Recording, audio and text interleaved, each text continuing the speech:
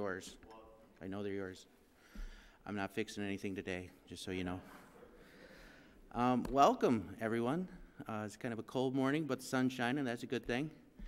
Uh, have a few new faces here. If, if you get a chance, shake some hands, give a hug. Hey, COVID's over, right? I don't know about that. And we're not going to go there. Let's pray. Dear Father God, we love you and we thank you. We thank you for this day. We thank you for each one that's here. Lord, we just ask that you have your way in the service today. We ask that Pastor's message be one that we can apply to our lives and that we can share with others. Lord, we ask for the courage and the wisdom and the knowledge to speak of you, um, to speak boldly, but to also be kind and, and, and gracious towards, towards those who don't know you, Lord. And we pray for your blessings over the tithes and offerings that have been given. We ask that they be used to increase your kingdom. The king looked at him and said, Well, how about you? Are you guilty? He said, Yes, sir, I am. And the king told the jailer, Get him out of here. He'll corrupt all these innocent people.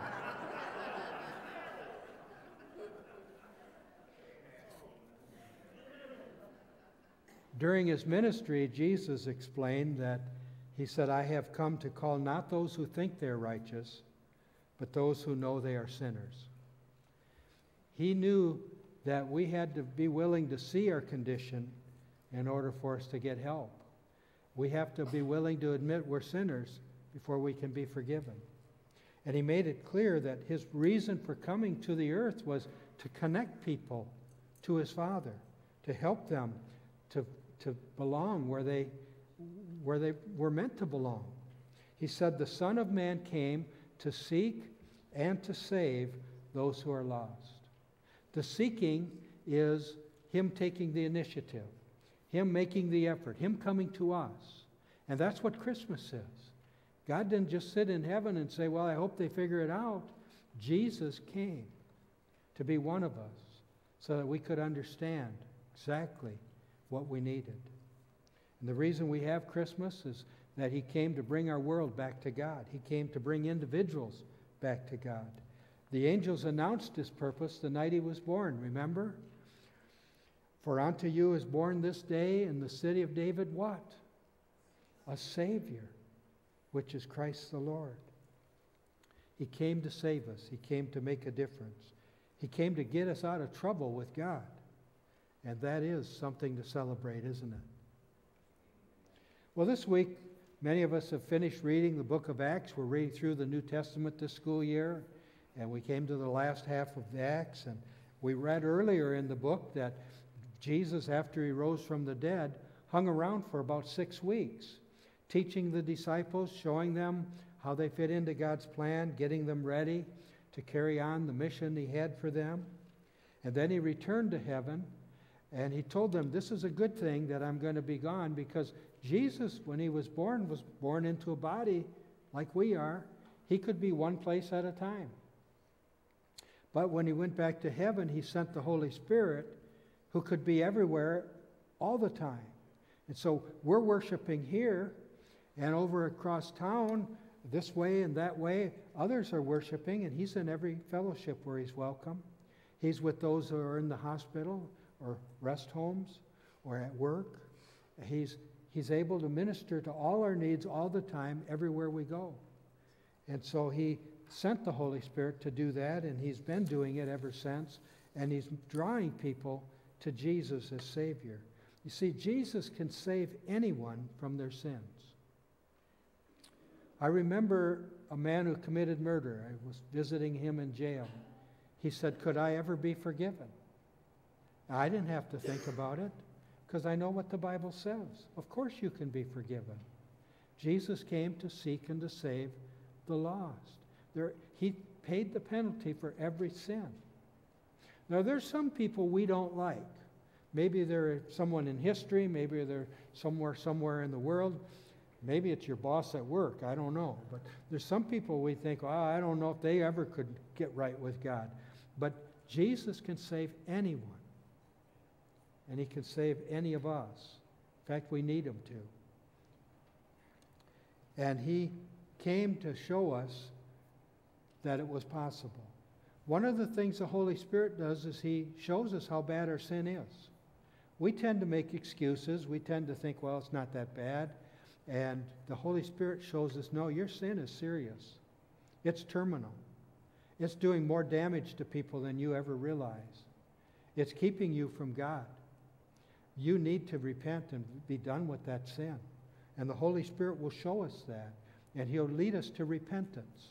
We repent by saying that we're sorry, not just saying it, but by being sorry.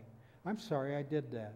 Not just that somebody knows it, not just that I have this consequence. I'm sorry I did that. I'm sorry for the offense that I brought to God. I'm sorry for the damage I've done to people. And I don't want to do that anymore. I don't want to go back to that. I don't want that to be the way I operate in the future. That's what repentance is.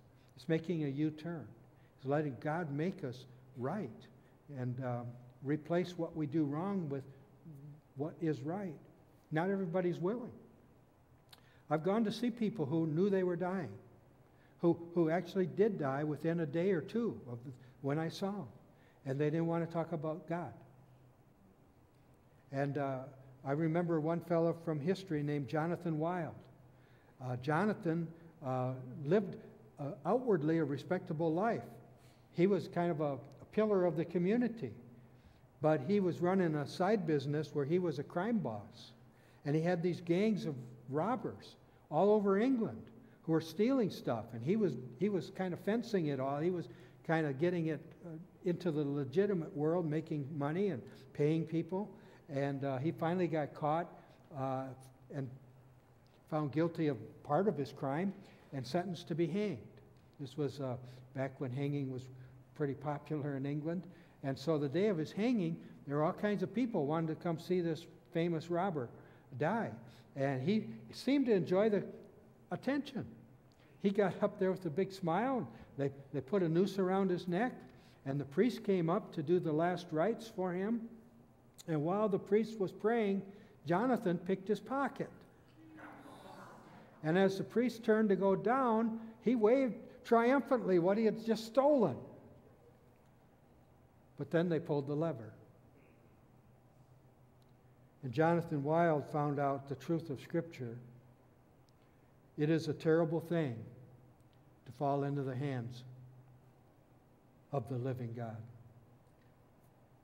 It's a wonderful thing to rest in the hands of the living God. It's a beautiful thing to come to the shepherd of our souls. But it's a terrible thing to come to God as a judge and to be a rebel. How much better it is to face God now, to admit that my sin is real, that it's bad, to ask forgiveness and to become right with God. You can go from being a rebel to being a child of God in a minute's time by just leveling with Him and just surrendering to Him, just bowing to Him. And that's what He's looking for. He takes no satisfaction in serving as our judge. The Bible says He does not want anyone to be destroyed, but wants everyone to repent.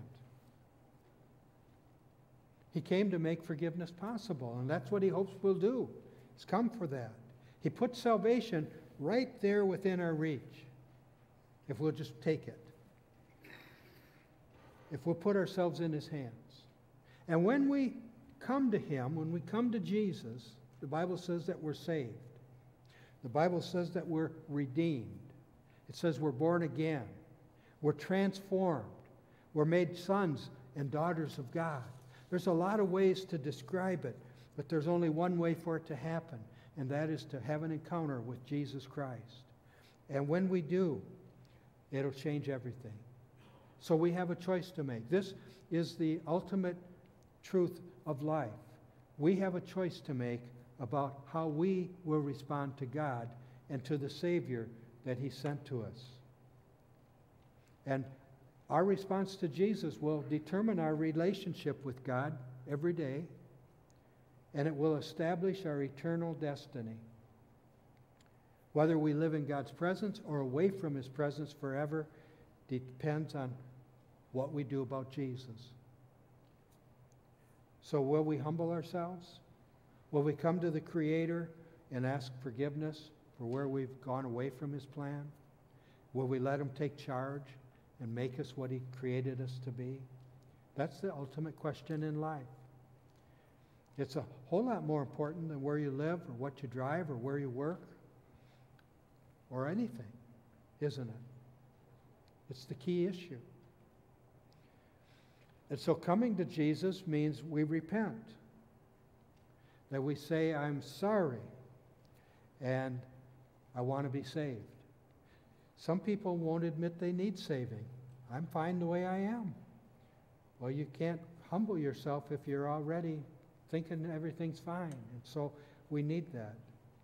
And that's how you become a Christian. You bow before Jesus Christ. You ask forgiveness. You say, Make me what you want me to be. We're not saved by coming to church, we're saved by coming to Christ. Amen? And it has happened to most of us. It has happened to millions of people. It's happened to every generation since Jesus lived on this, in this world. And the book of Acts gives us several examples of people who surrendered. And the, one of them is a man named Saul. We know him as Paul. His name was changed. Paul was a well educated man. He was a Roman citizen, so he had privileges most people didn't have. He was a, a Jewish man who was in the highest caliber of uh, following the law. He was very religious, and yet he had no clue how far he was from God. He thought he was doing great. He actually was doing the opposite of what God wanted, and he thought he was doing the right thing. It happens. It's happening in our generation. And of all the events in the New Testament, the one that's spoken of in the most detail is the death and resurrection of Jesus. When you read the Gospels, as many of you have done in the last few months, you'll see that a, a third or more of Matthew, Mark, Luke, and John is about the last week of Jesus' life. It tells us uh, how he died, how he rose again. And so that's the most detail. Now you come to say, what's the second most uh, spoken about event? It's the conversion of Saul. Of all the things that happened in the New Testament, the conversion of Saul is the second most detailed account. Uh, in the book of Acts, you read about it three times the time it happened, and two times when Paul tells what happened. And we're going to look at that today. In fact, right now, I'd like for you to watch as we read this section or have it read to us from Acts chapter 26.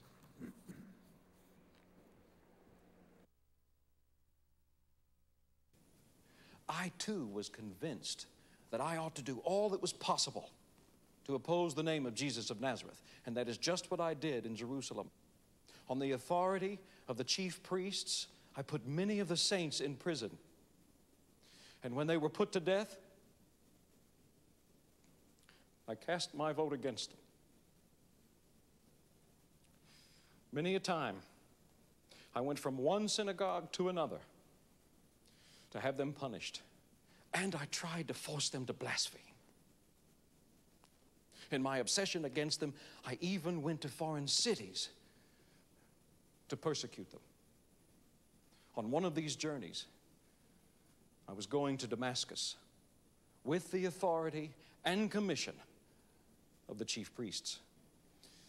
About noon, O king, as I was on the road, I saw a light from heaven, brighter than the sun, blazing around me and my companions. We all fell to the ground, and I heard a voice saying to me in Aramaic, Saul, Saul, why do you persecute me? It is hard for you to kick against the goads. Then I asked, Who are you, Lord? I am Jesus, whom you are persecuting. The Lord replied, Now, get up and stand on your feet. I have appeared to you to appoint you as a servant and as a witness of what you have seen of me and what I will show you. I will rescue you from your own people and from the Gentiles. I am sending you to them to open their eyes and turn them darkness to light and from the power of Satan to God, so that they may receive forgiveness of sins and a place among those who are sanctified by faith in me. So then, King Agrippa, I was not disobedient to the vision from heaven. First to those in Damascus, then to those in Jerusalem and in all Judea, and to the Gentiles also, I preached that they should repent and turn to God and prove their repentance by their deeds. That is why the Jews seized me in the temple courts and tried to kill me. But I have had God's help to this very day. And so I stand here and testify to small and great alike. I am saying nothing beyond what the prophets and Moses said would happen. It goes on. The Christ would suffer. This is Paul talking to King Agrippa, explaining how God changed his life. He made a U turn one day. As he lay on the ground, it must have been a shock to him. He must have just felt the shock flow through his body to realize he was hearing from Jesus. This person that he thought couldn't have risen from the dead was alive. This one that he thought was a pretender was the Messiah who could save the world. And he was talking to Paul. And suddenly he went from threatening believers to becoming one of them. He went from fighting against Jesus to serving him. He went from doing what he thought was best to yielding to what God knew was right. He was a different man. Knocked flat and struck blind, Paul finally was ready to listen. He was ready to change. And from that day on, he not only followed Jesus, he tried to help others do the same. He showed them uh, what the Bible said, how Jesus fulfilled prophecy, and what he had done for others. He tried to convince them to follow him.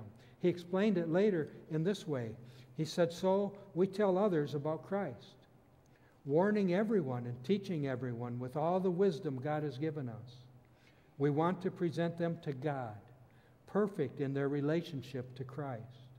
That's why I work and struggle so hard, depending on Christ's mighty power that works within me.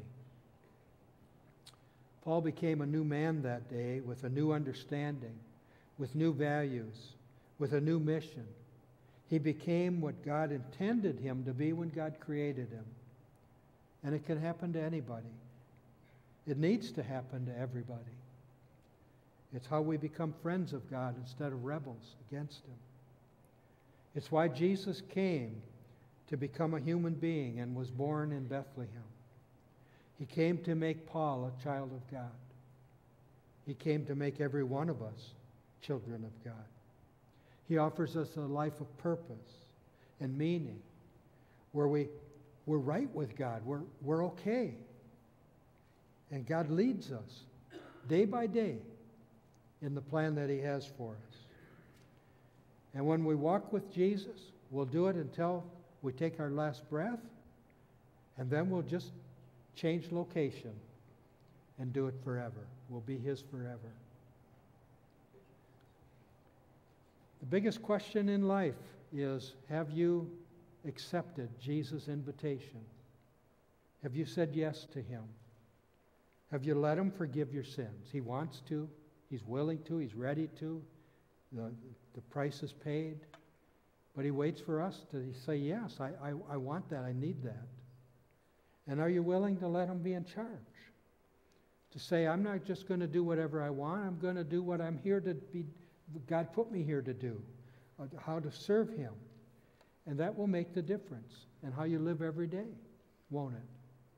It'll make the difference in where you live forever. I'm not sure if everyone here has accepted Christ, so I'm going to ask you if you pray with me today.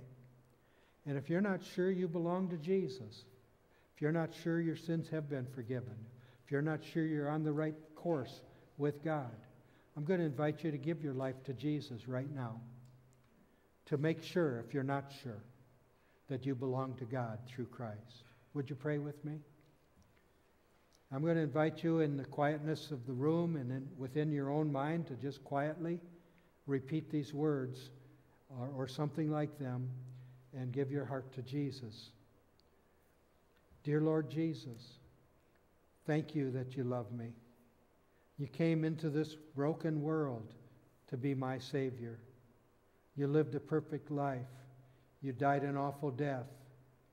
You rose triumphantly to save everyone who turns to you. Jesus, I'm coming to you today. Please forgive my sins, all those things I've done that you didn't want me to do. Please take charge of my life. Show me how to be the person you made me to be and live for the purpose you gave me to live for. I give myself to you with gratitude. In Jesus' name, amen. If that's your prayer, if that's your desire, if that's what you want, you're agreeing with God because He wanted it for you. And He'll make you the person you were created to be. You'll live forever in His presence. You'll enjoy it.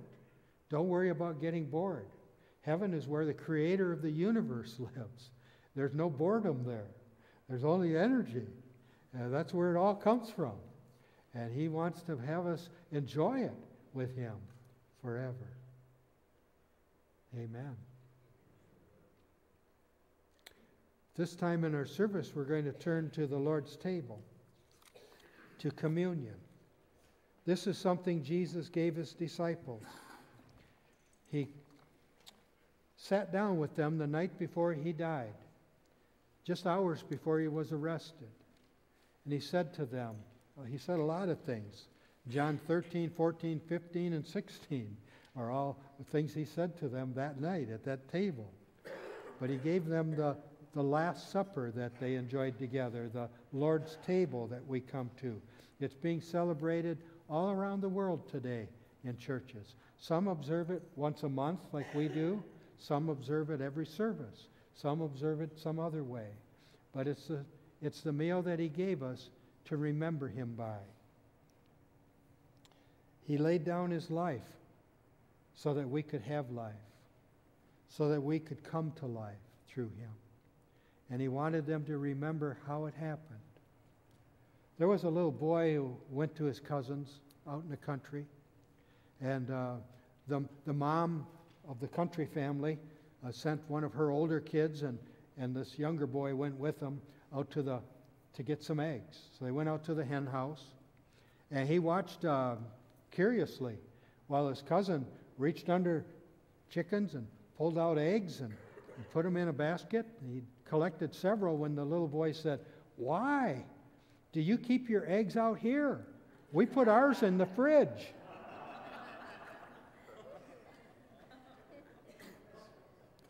Well, he didn't quite understand how it worked yet. But there's a lot of things where we're still figuring out how it works, aren't we? And one of them is the spiritual life. There's all kinds of ideas out there what it means to be spiritual, what it means to, to know God.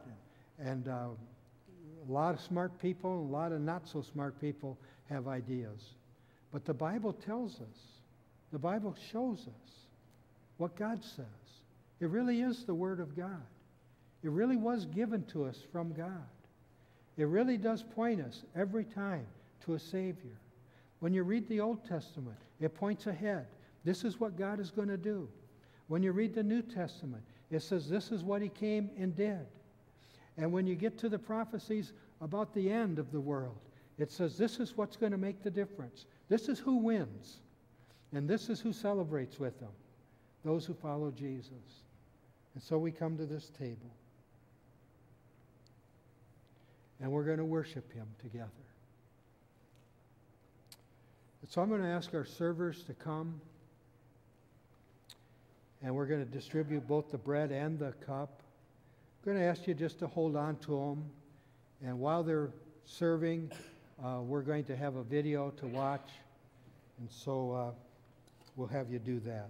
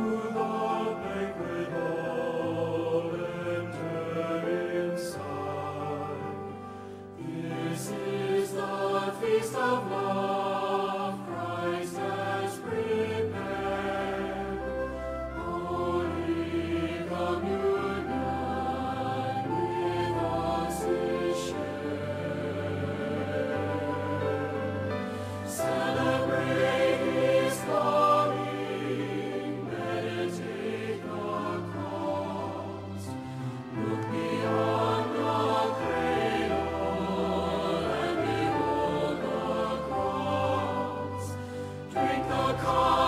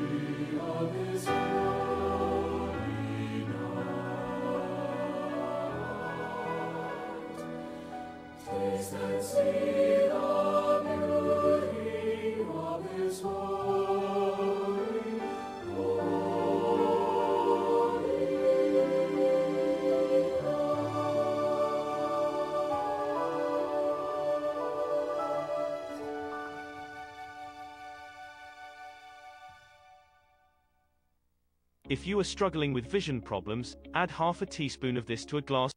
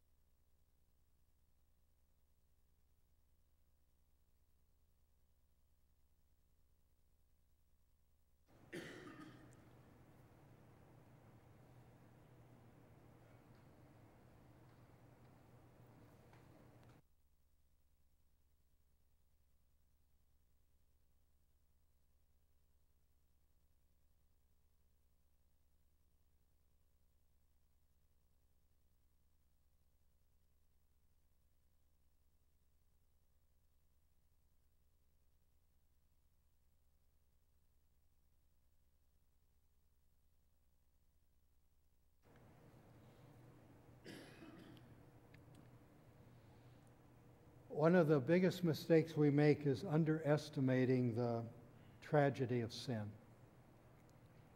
the damage that it does, the difference that it makes, the division it causes, not just between people, but between us and God. Isaiah said, Your sin has separated you from God. And it has to be punished. There has to be justice. God, God is just. It's, we all have something in us that wants justice. And uh, Jesus said, I will bring justice. I will take the punishment that people deserve.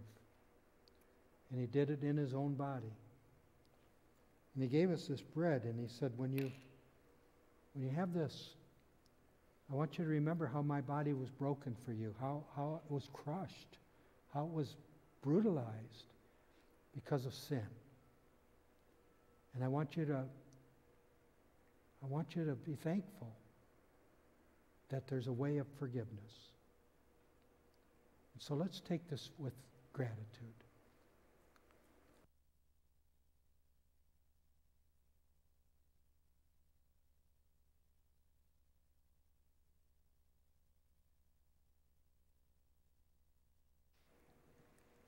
He said this cup would remind us of his blood.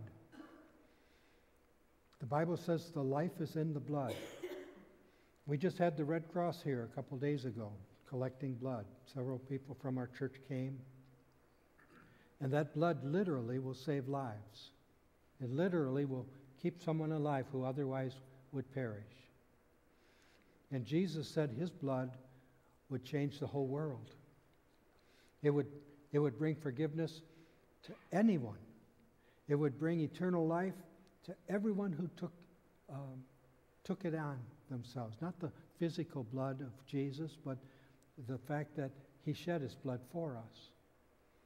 And this grape juice, which they would have had all the time, uh, every meal in Israel at that time, this was to remind them of what he had done. He said, Take this in remembrance of me. Let's do that.